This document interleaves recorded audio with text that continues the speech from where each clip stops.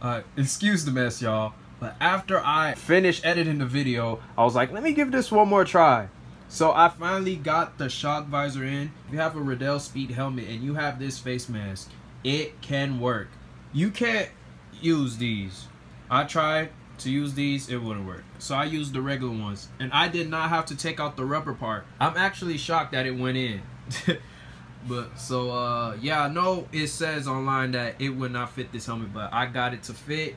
I mean, it's not all the way in. You can see there's some space in there, but it's a perfect fit for me.